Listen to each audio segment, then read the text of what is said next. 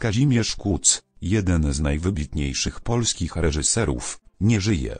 Informacja właśnie obiega media, a o jego stanie zdrowia donoszono od wielu tygodni.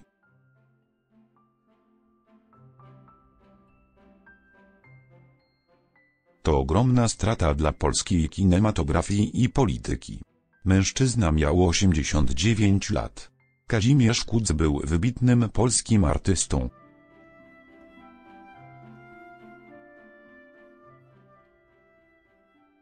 On stworzył takie obrazy, jak paciorki jednego różańca, czy śmierć jak kromka chleba.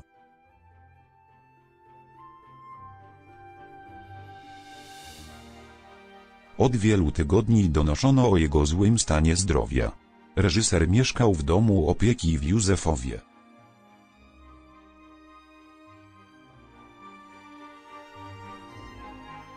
Kazimierz Kuc nie żyje. Polska żegna wybitnego artystę ogromna strata, pojawia się w nagłówkach gazet.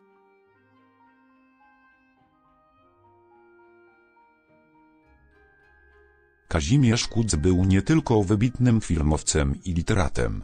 W ostatnich latach angażował się także w politykę, gdzie walczył o wartości demokratyczne i wolność słowa.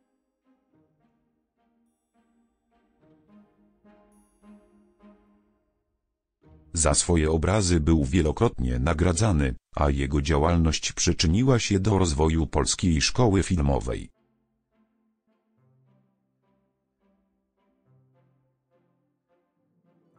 Nauczyciel, wzór i przyjaciel, tak o nim mówią bliscy i współpracownicy. Jeden z najważniejszych polskich twórców odszedł dzisiaj po południu.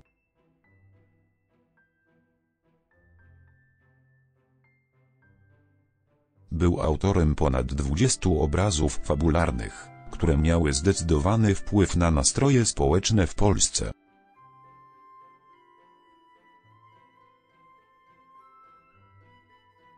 Jego dzieła zawsze odnosiły się do wielkich zmian w kraju, a także do samotności jednostki.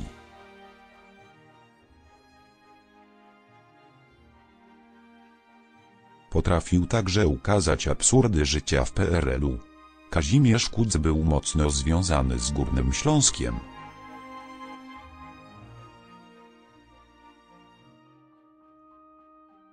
Wielokrotnie omawiał sytuację swojego regionu w obrazach. Urodził się w Szopienicach w 1929 roku.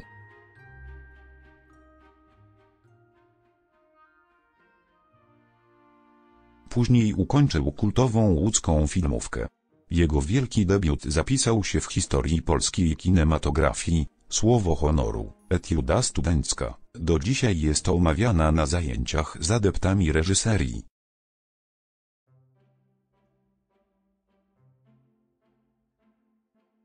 W latach 90. postanowił zaangażować się w politykę. Startował do Senatu z listy Unii Wolności.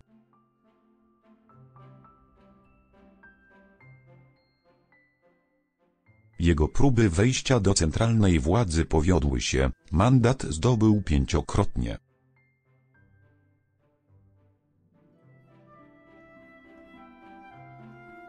Podczas ostatnich wyborów postanowił nie ubiegać się o reelekcję.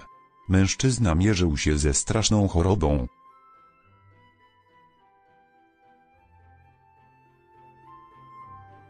Pod koniec listopada do mediów dotarła wiadomość o tym, że artysta musi się mierzyć z poważną chorobą.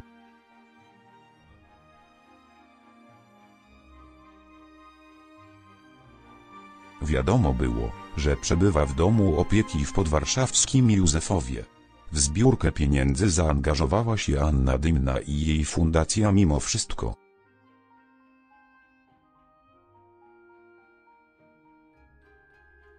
Mężczyzna od wielu lat mierzył się z rakiem prostaty, a w ostatnim czasie miał wylądować w szpitalu.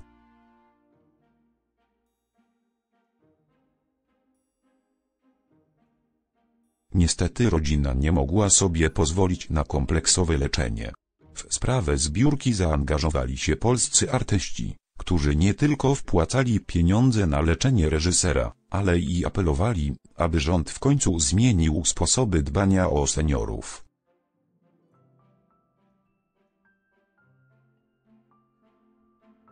Wyjątkowo zaangażował się w sprawę Olgierd Łukaszewicz, który odtworzył wiele głównych ról w obrazach Kudza.